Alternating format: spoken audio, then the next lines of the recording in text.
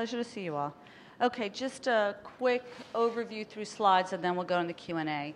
So just as a reminder, as a public company, I will be making forward-looking statements, so please do check our SEC filings.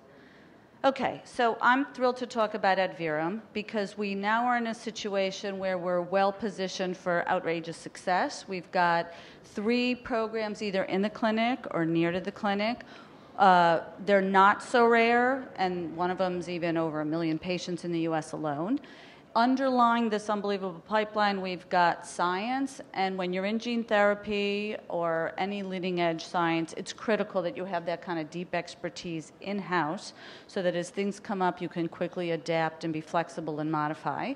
We have a good amount of cash to take our programs forward. In addition to the 191 million last reported, we just recently raised a net of 64 million.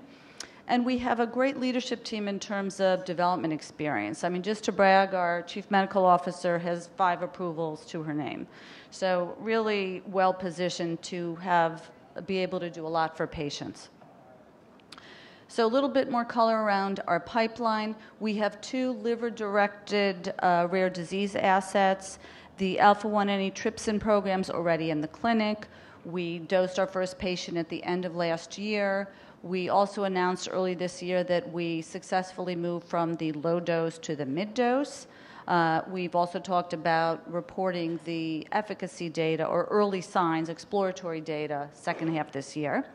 Uh, hereditary angioedema, another uh, indication with uh, not so rare, about 6,000-8,000 patients in the U.S., and we are planning to submit the IND second half this year.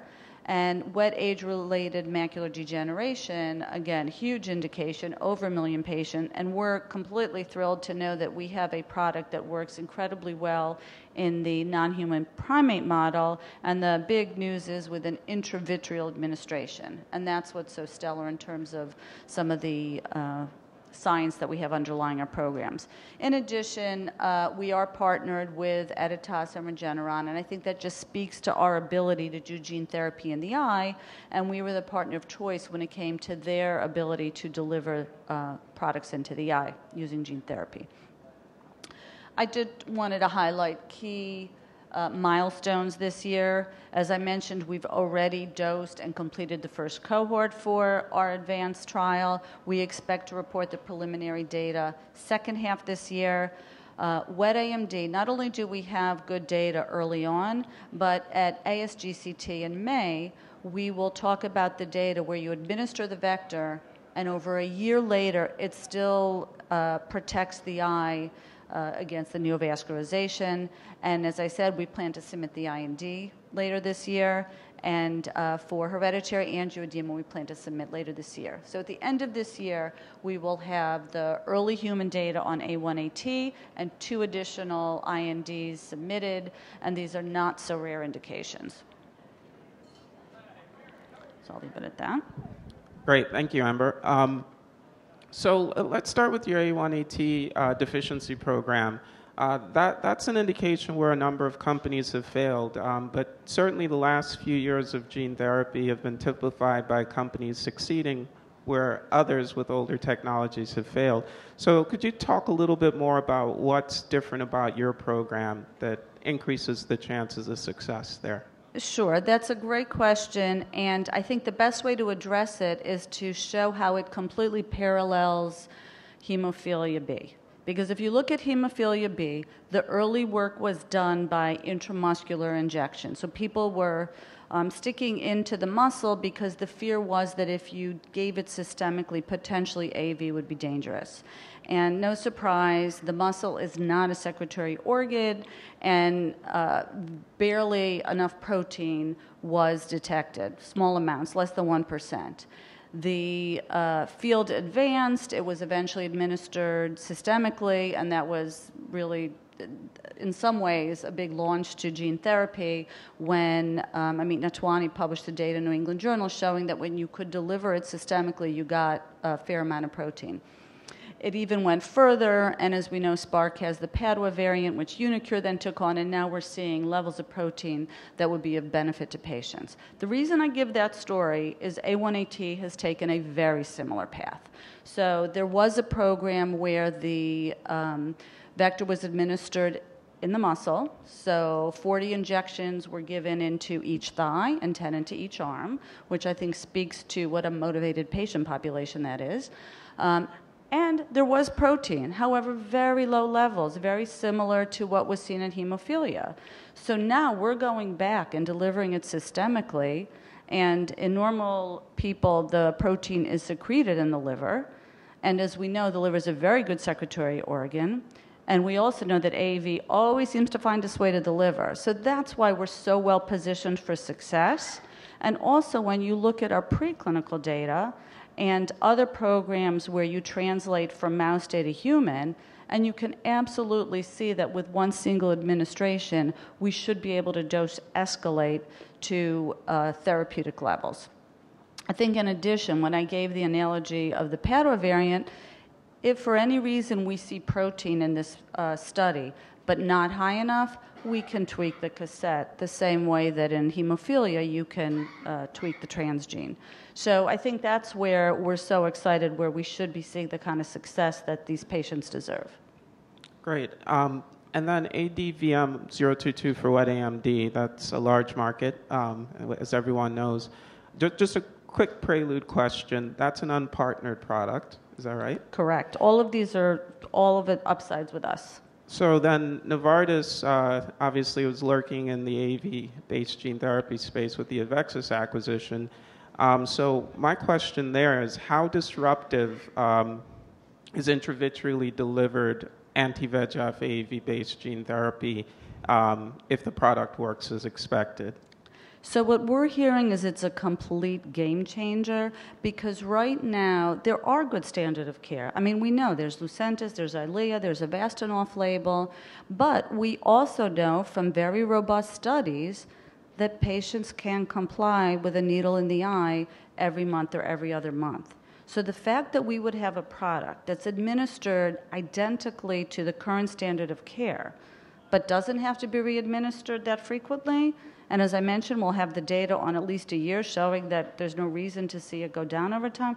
That's huge. And we don't, that's just not us. When we talk to the experts, when we talk to patients, there's huge excitement over having one intravitreally delivered dose and have it last for a really long time. I mean, that's hugely disruptive. I think as we learned when um, some of the Novartis ca- data came out about quarterly administration, people were excited.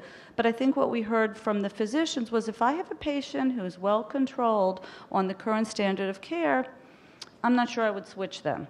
However, if it's a new patient, obviously I would love to give them quarterly instead of having them keep coming back. Um, I think in our case, it is such a big difference, and because it makes such a difference in long term vision, because when patients don't comply, they do lose vision, I think that's where the huge game changer is. And then I think it was in 2015, Avalanche, with their 101 program, uh, failed in wet AMD, and that was a predecessor company to Adverum, uh, and before your time as CEO. But what organizational lessons were learned um, from the 101 program, and, and why might your 022 program succeed where that one failed? Yeah, that was um, a completely different product from ADVM022. Um, it was different in the sense that it was a different vector delivering the transgene. That vector needed to be administered with the surgical subretinal approach. And as we've learned, uh, painfully, and others as well, when you deliver things surgically, there's not only additional risk, but there's huge variability because eyes, no two eyes are the same. And if a eye is perhaps less diseased than another, a surgeon may be reluctant to go as close because they don't want to do any harm. So it was a different vector. The one that we're using now was obtained through many years of directed evolution to specifically work when injected into the eye intravitreally. So it was a different vector. with that came a different route of administration. So the fact that we're delivering it intravitreally and we see protein in the vitreous as if you kept injecting Eylea is pretty exciting. The other thing is it's a different protein. So uh, we are actually delivering aflibercept. And we know from the years and millions of patients worth of data on Eylea, it works. If you have enough aflibercept in your eye, that is a molecule that works. So from that perspective, it's completely different. So it's a different route of delivery, a different uh, serotype, a different transgene, and a different promoter. So we learned a lot. Um, sometimes you learn a lot more from failures and successes because you really leave no stone unturned to figure out what went wrong. And all of that learning went into how we're taking ADVM022 forward. So, wet AMD is a big market. There, there are two $4 billion drugs on the global market. Um, so, you know, clearly there's, there's room for different companies. Um, I noticed that there are three, uh, at least three AAV based gene therapy companies going for uh, uh, wet AMD treatments. However, um, Adverum is doing intravitreal while the other two are doing subretinal injection. Um, so, w- what is it about your program that enables you to go intravitreally, an injection into the eye, rather than a surgical procedure? Yeah, I think the uniqueness is in the vector. So we're using a variant of AAV2 called AAV7M8. And as I mentioned, this was obtained, we licensed it actually from UC Berkeley, where they had worked on it for years doing directed evolution, and they kept screening and screening, looking for vectors that would make it through the inner limiting membrane with an intravitreal administration. And when you look at the data, like uh, green fluorescent data, when you administer other commonly used vectors intravitreally, and this one, it completely lights up, where the other ones you just see a little bit.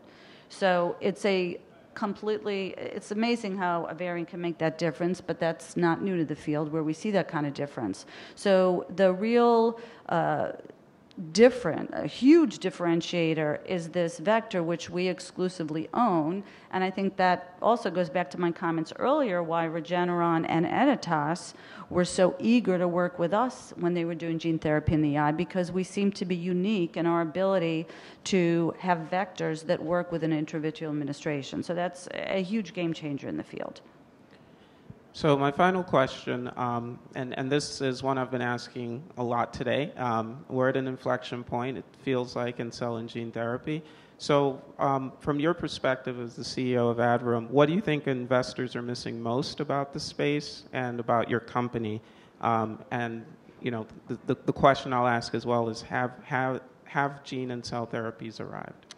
So first, because it's near to my heart, I'll talk about our company. And in that regard, um, we're completely undervalued. I mean, if you look at the way the bank analysts, they're not attributing any value right now to wet AMD, which obviously has a huge upside. And I get that, it's not in the clinic yet we're submitting the IND second half. So there's very little value attributed to wet AMD. The preclinical data are phenomenal in a uh, gold standard model that the experts really have a lot of confidence in. So we're undervalued, and I think it's just it's being missed now. And part of it has to do with that when you come out of a reverse merger with a big failure on Avalanche it, it, takes time to get the story out. So that's one huge value point that's being missed. I think the other is that if you look at the indications that we're going after, you can make a lot of money on them. I mean, if you look at hereditary angioedema, we don't have to face some of the reimbursement challenges that some of the others do because patients are already being reimbursed at half a million a year where they have to stick an IV in twice a week. So to have one single administration and protect them from potentially fatal attacks, you know, it, you don't have to think that hard to see that there's a way to make a lot of money here and make a huge difference in the lives of patients. So I think in terms of what's being missed is that while we're in rare diseases, they're not as rare as a lot of the others that have huge valu- valuations. So I think that's what's being missed, and it really does talk to we're a huge value now because we're coming off of that reverse merger. So even though our stock is up almost 100% year to date, we still have a huge way to go. In terms of the field overall, I think we're getting out there. Um, it is, as we all know, on an uptick. We all owe a huge gratitude to uh, Novartis for putting the price tag on Avexis because I think it helps us all be seen that way. But, you know, it's great to have a big player acknowledge that this is going to be a new mode to be able to treat patients and have a huge impact on their lives. Great. Thank you, Amber.